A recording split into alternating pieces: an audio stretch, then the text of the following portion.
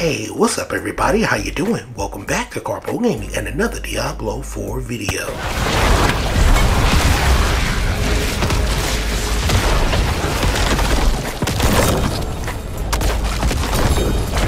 Another one. That's right, we're back at it again in Loot Reborn. And today, we're gonna see how good is the Blood Moon Breeches. Let's go!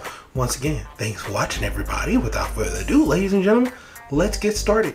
Now, when I finally got this to drop, I got it from Dory. I'm not sure if this is the only place you can get it, but I was super excited because I've seen these, I've never used them before, and quite frankly, I don't really see a lot of people using this for their builds. The Blood Moon Breeches have plus one to curse skill, plus one to amplify damage, and you immediately have a 3% chance to curse enemies.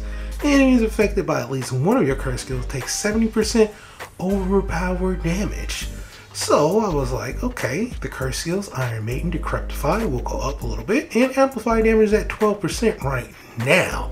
So let's put on this unique and let's see what it changes as far as the damage is concerned.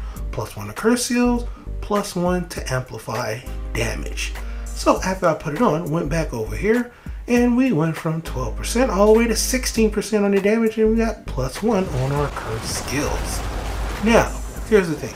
There is so much going on on the screen when you are a Necro that you really can't see the extra damage that is being displayed by your minions. It's just too much going on the screen. So I was like, okay, if I really want to see how good this is, I'm going to have to take it back to the training ground. Remember, we already went over the curse skills, amplify damage. That's pretty much straightforward. You can see that, but your minions have 3% chance to curse enemies. We didn't see that. Also, enemies affected by at least one of your curse skills take 70% increase overpowered damage from you. So that is what I want to test out right here. So I'm going to go over to multiple dummies, boss dummies, and I just stood over here in the middle and just let my minions go to work. And it's actually happening right now. I just didn't know. Now here's the way I broke this down to kind of figure out exactly how we can see what's happening.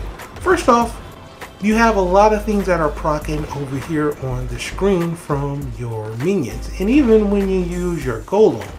So is this any of those? Let's check it out. We got Inspiring Leader, Intercom, Sense of Death, and Blighted. Nope, all of those are just multipliers, so that's not it. Instead, when you throw down your curse skills, you can actually see the stagger prop. This is how you can indicate that your curse skills are working, at least when you use it. So I said, okay, well, how often does it proc for our minions?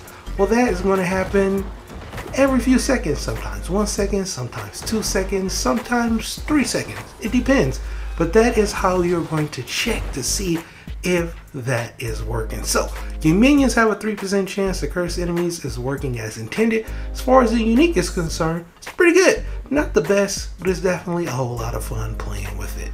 But for right now, that's pretty much going for the video. Hope you truly enjoyed it. Now, as always, if you're new to the channel, how you doing and welcome. Don't forget to subscribe right here at Karpo Game, blow the wide variety of videos ranging from updates, tips and tricks, guys and news, and a whole lot more. So if you enjoyed this video, once again, thanks for watching. And as always, I'll be seeing y'all in the next one.